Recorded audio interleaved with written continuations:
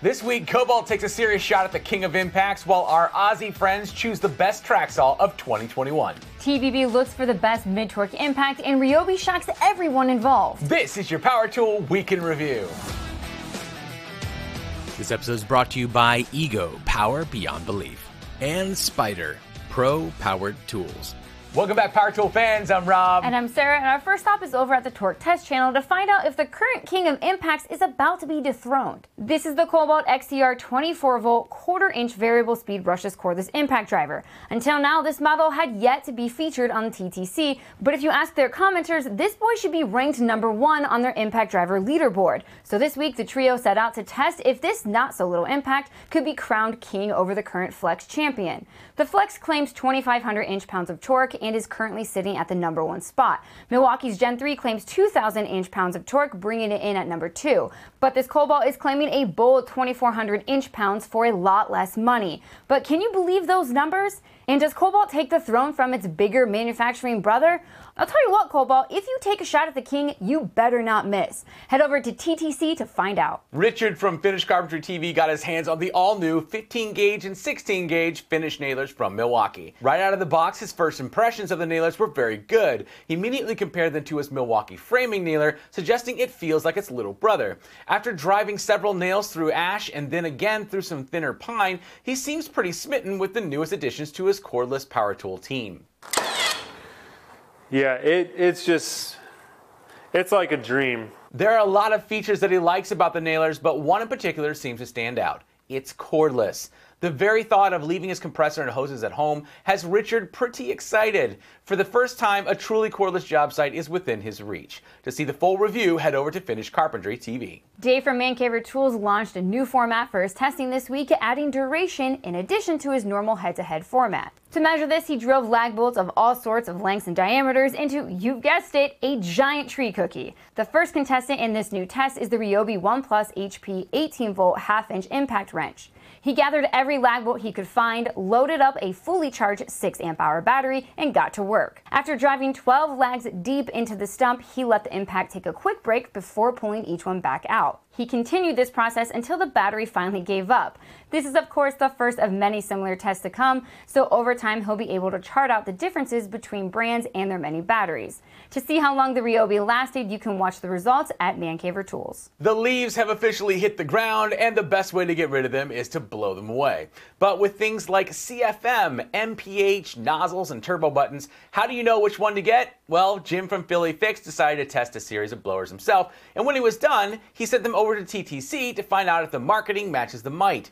Jim fortunately found himself in a pile of leaves this week and set up a clever test in his own backyard to decide which blower did the best job. In the end, he personally chose the loudest one, which makes sense if you've ever heard him ramble on about D handles.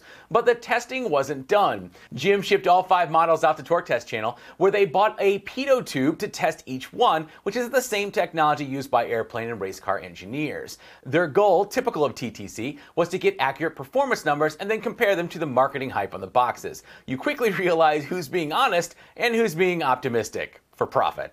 The findings are really enlightening. Now I know what you're thinking. Rob, I already blew all my leaves. Yeah, me too. But here's the deal. Right now, no one's buying blowers, which means it's the perfect time to get a crazy deal on one. Or you can wait until next fall and pay full price, assuming you can even find one. I'd shop now.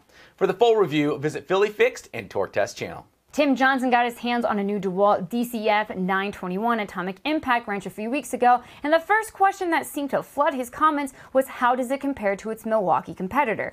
Good news! He heard you guys and decided to find out. Tim ran through the specs and features for both and then put them to the test to see what they could do. There are pros and cons to each, but one thing is true for both. However, we're very surprised at the amount of power that these little impacts are putting out. They have an absurd amount of power considering how compact they are. So, which one is best? That totally depends on you and your situation. If you already bleed red, go Milwaukee. If yellow is the platform filling your truck or shop, buy DeWalt. From Tim's review, it sounds like you can't go wrong with either one meaning neither is worth changing battery platforms for. But yes, it also sounds like he's refusing to declare a winner, which we hate around here. So if you want to go yell at him in the comments, head over to Shop Tool Reviews and tell him I sent you. The guy behind Tools and Stuff channel seemed to get bored covering Makita tools that I can't have here in the States, so instead set out to determine which recip saw is the most powerful of 2021. The contenders included DeWalt FlexVolt Advantage, Hikoki 36 volt, Makita 36 volt, and Milwaukee Super Sawzall.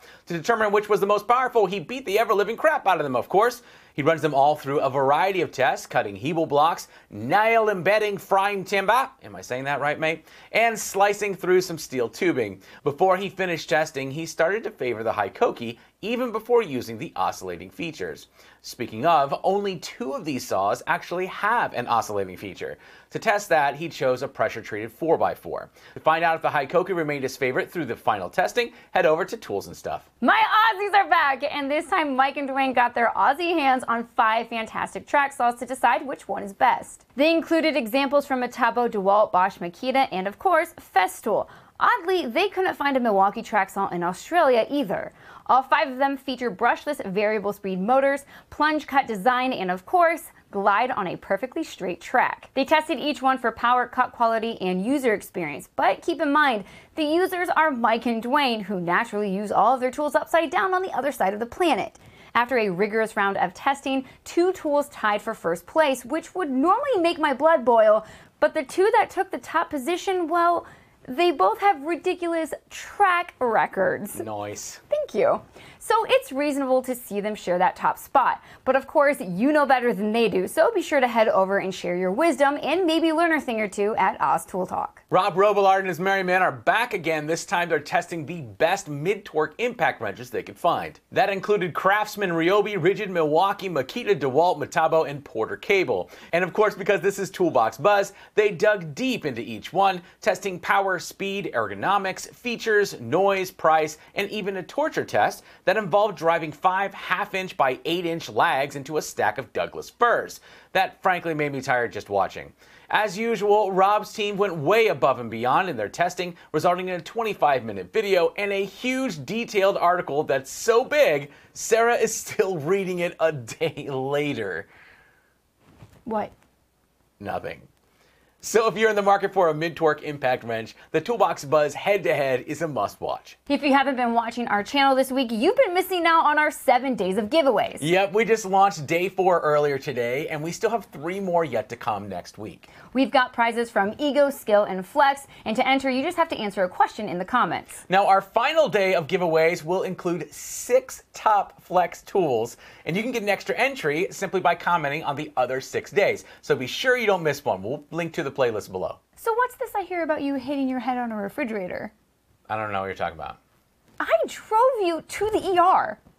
Oh, that. Yeah.